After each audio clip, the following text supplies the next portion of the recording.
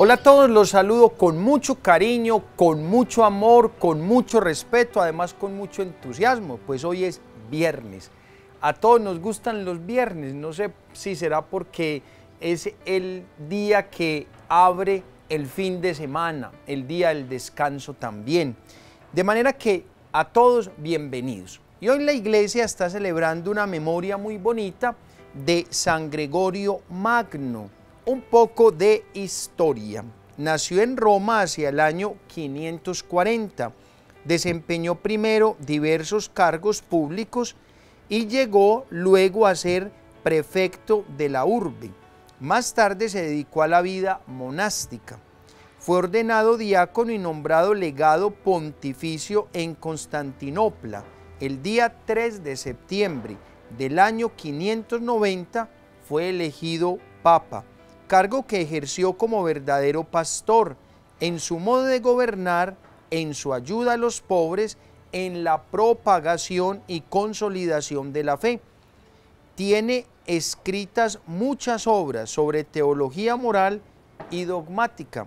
Murió el día 12 de marzo del año 604.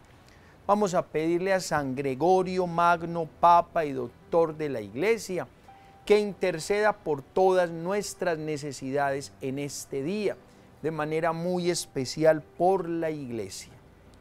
Señor Jesús, gracias, infinitas gracias por este nuevo día. Gracias Señor por tanta bondad, tanta ternura, tanto cariño, tanto derroche de amor.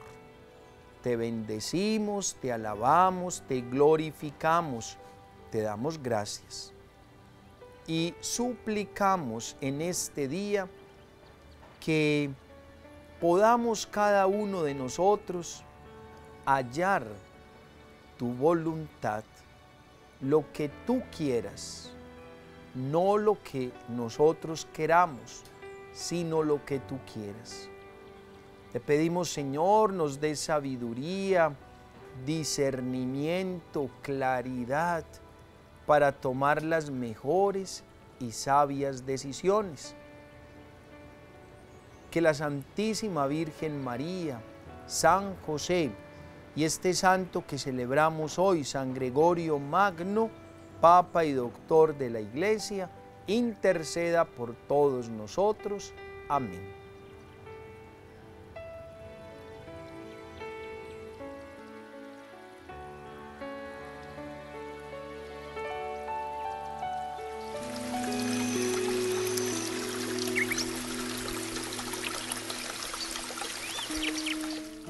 Te doy gracias, Señor, porque eres bueno, porque es constante y eterno tu amor conmigo.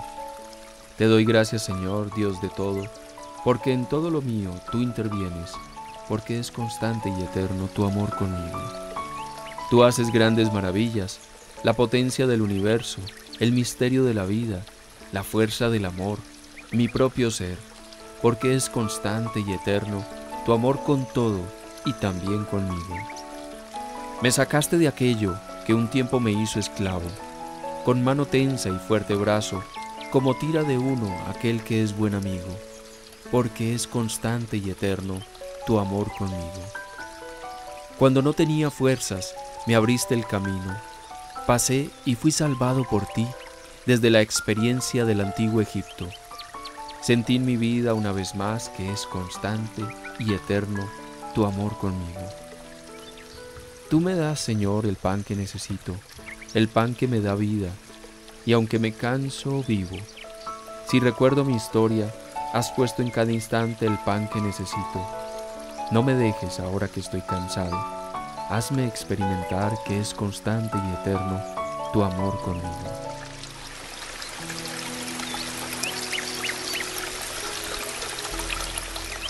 Y todos en algún momento hemos escuchado la palabra motivaciones.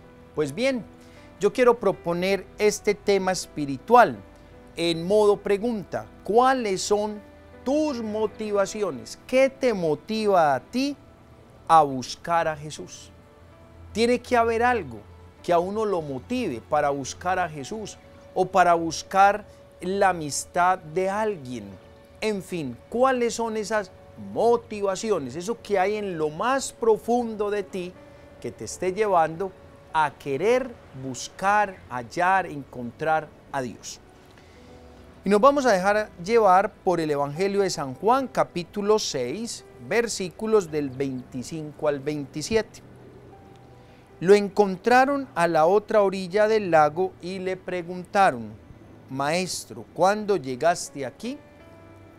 Jesús le respondió, les aseguro que no me buscan por las señales que han visto, sino porque se han hartado de pan Trabajen no por un alimento que perece, sino por un alimento que dura y da vida eterna, el que les dará el Hijo del Hombre.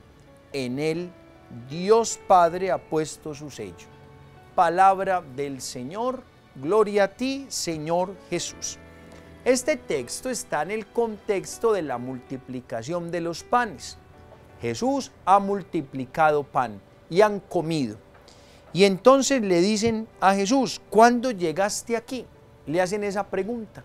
Y Jesús aprovecha esa pregunta para decirles, les aseguro que no me buscan por las señales que han visto, sino porque han comido pan. ¿Qué está motivando a la gente para buscar a Jesús? Que les dé comida, que les llene el estómago. ¿Eso está bien o está mal? No lo vamos a calificar ni de bueno ni de malo. Pero Jesús sí nos quiere llevar mucho más allá. Y es que uno no puede buscar a Jesús solamente para que le llene el estómago. Uno busca a Jesús porque Él mismo lo dice, porque Él tiene un alimento que perdura para la vida eterna. Por eso dice el Evangelio, trabajen no por un alimento que perece, sino por un alimento que dura y da vida eterna. Por eso uno tiene que buscar a Jesús. Esa es la motivación que tiene que haber en nosotros cuando buscamos a Jesús. Comprender y entender que Él es el pan que da la vida eterna.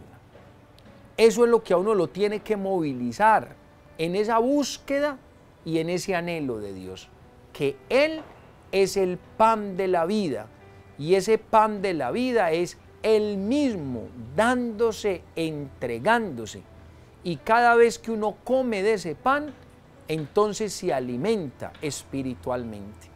Por eso digo yo que el mejor momento, el mejor espacio para buscar a Cristo es en la Eucaristía. Que Dios te bendiga, te quiero mucho, mil y mil bendiciones en el nombre del Padre, del Hijo, del Espíritu Santo. Amén. Feliz y santo viernes para todos.